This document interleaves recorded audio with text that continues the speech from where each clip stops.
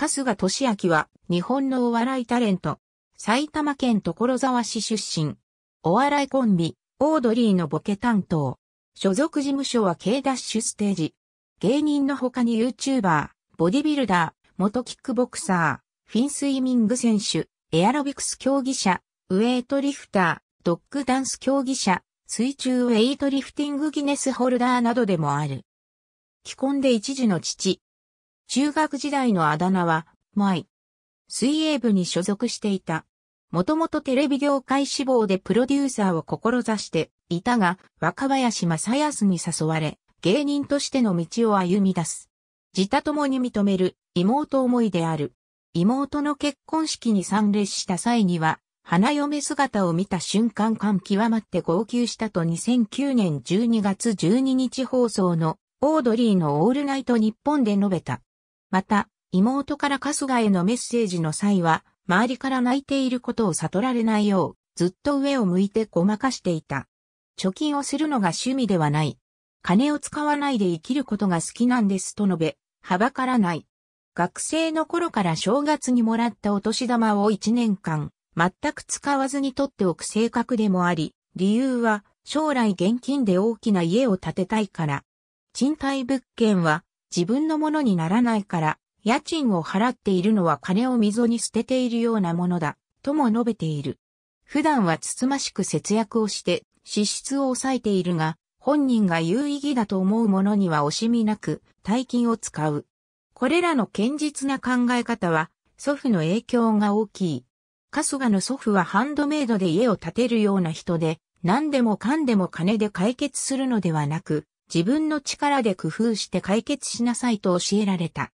春日の人間性について、塩プロ所属の水口健二ディレクター、若林、ドキドキキャンプの佐藤光春によると、長島茂雄やアントニオ猪木みたいに普通やらないことや、もうやめてくれ。っていうようなことを平気でやれる。スモールサイズのスター。春日さんって昭和のスターって感じなんです。何を言っても、有無の一言で全てがうまくいく、そんなオーラを持っていると思います。ドランクドラゴンの鈴木拓によると、すごい真摯な人。穏やかでセントバーナードを思い出します。子供とかが叩いても決して怒らず穏やかで何かあったら人を助けるというイメージなんです。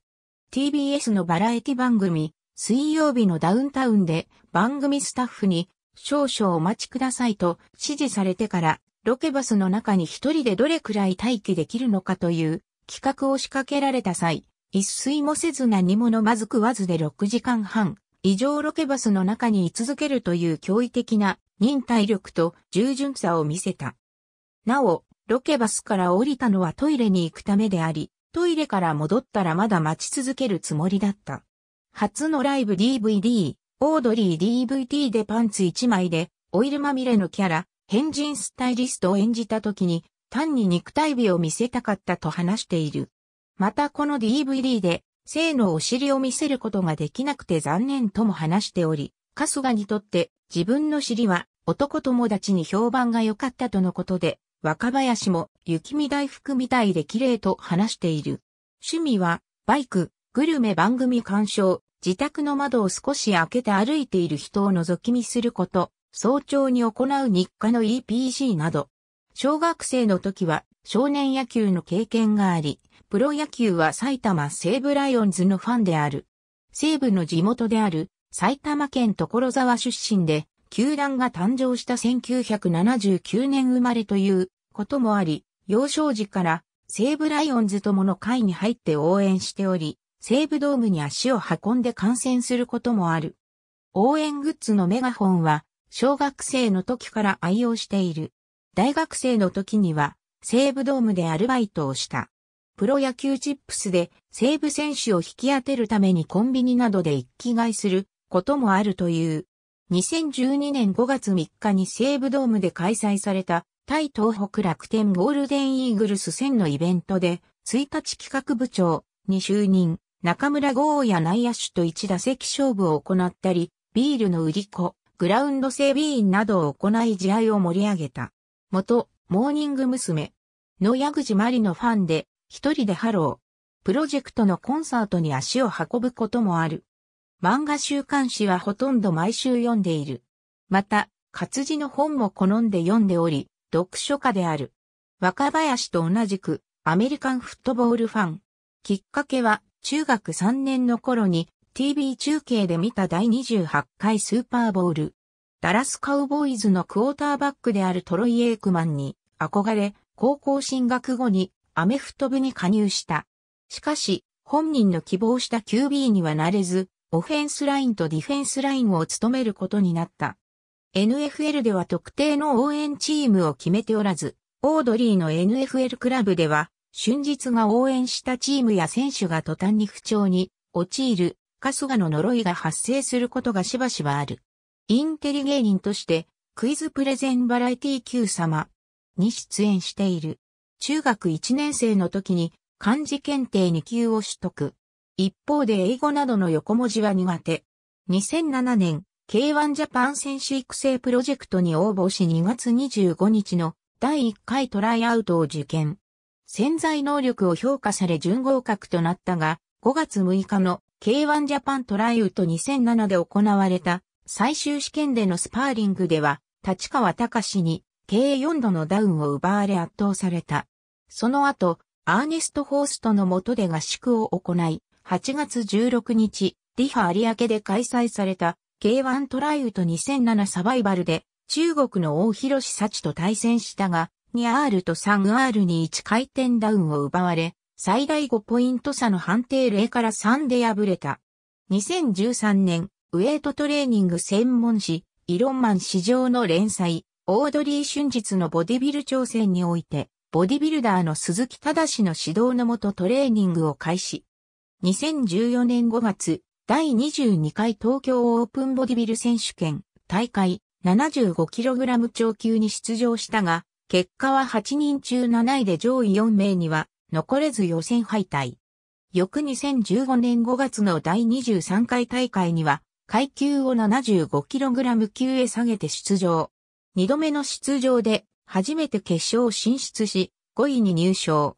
2014年10月からフィンスイミングに取り組み始める。2015年3月15日、東京、町田で開催された第4回フィンスイミングジャパンオープンマスターズ大会に参加。50メートルアプニアの35から44歳の部では6人中2着に入ったが、フォルススタートで失格。50メートルサーフィスにも出場したが、スタートで出遅れて3位に終わり、代表入りを逃す。しかし、4月末になってすでに決定していた上位者に欠員が生じ、繰り上げで日本代表に選出され、6月6日にイタリアラベンナで開催されるフィンスイミングワールドカップマスターズ大会に日本代表として出場することになった。同レースにおいては公式記録22秒27で16名中10位の成績。団体種目400メートルサーフィスリレーにも出場し、銅メダルを獲得した。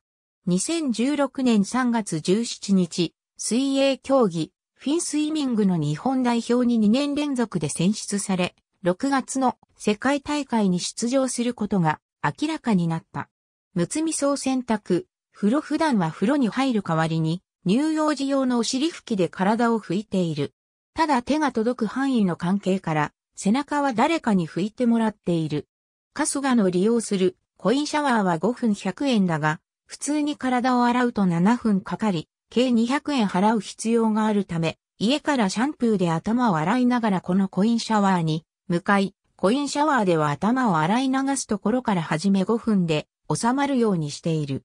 シャンプーをしながら街を歩くため、近所の小学生からシャンプー、おじさんと呼ばれていた。この愛称は2009年4月から始まったオードリーのラジオ番組、オードリーのシャンプー、おじさんというタイトルにもなっている。前日の通り、風呂なしの家に住んでいたため、節約の一環として、テレビ局にある風呂を使っていた。そのため各局の風呂場事情に詳しい。あまりタレントが使うことはないが、中山正史と遭遇したことがある。また、それが、ビートたけしにも知れており、テレビ局で風呂に入るのは、俺と春日くらいだもんなと言われたことがある。結婚して、風呂のある家に引っ越ししたが、未だに、テレビ局の風呂に入ることもある。漫才一発ギャグトートゥースのポーズ、春日語は、春日や、ドキドキキャンプの佐藤光春、リトルトゥースなどで話されるスラングである。過去にもラジオで話してはいたが、2020年1月29日に放送された TBS 系水曜日のダウンタウンで異質や謎と話題となった。米コンビでの出演歴については、オードリー出演を参照テレビネット、配信テレビテレビラジオ現在の連載過去の連載太字は、春日がメイン出演の作品。ありがとうございます。